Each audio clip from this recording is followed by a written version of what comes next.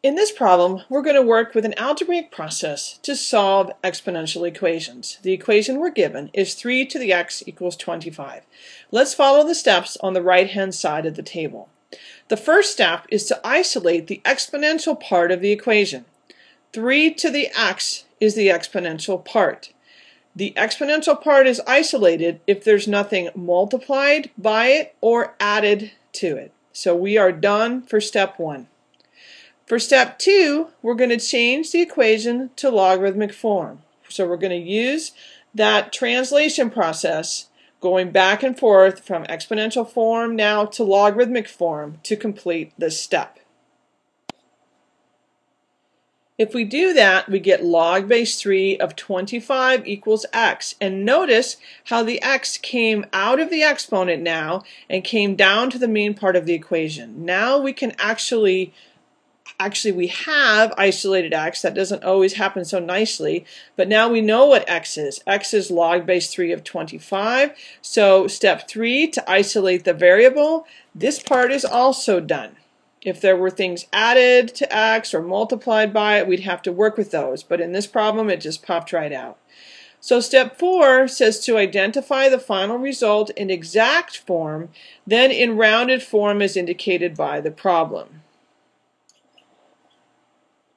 Exact form is what we found as a result in step 2, so I can just rewrite it here. To find the rounded form, I'm going to have to change log base 3 of 25 using change of base, and then I'll use my calculator to compute and then round.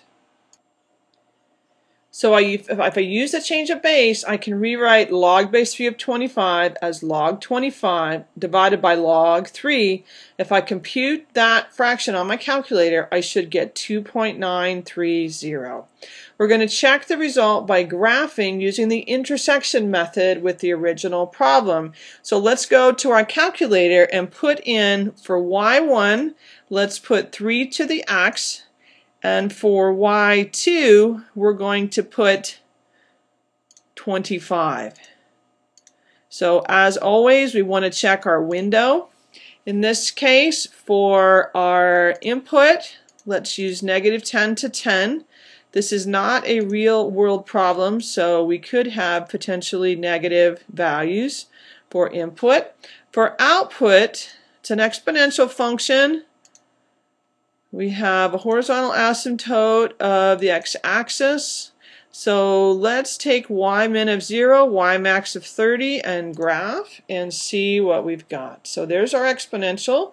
There's the y equals 25. Let's do second calc number 5, which is the intersect method.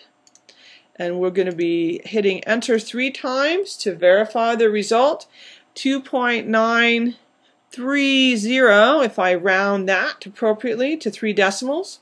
So by checking using the graphing method, we've verified the solution. In your uh, paper, what you write down, go ahead and make a good graph here, put that in this space, and identify the intersection, and uh, go ahead and label the ordered pair. So we now have a process for solving exponential equations algebraically.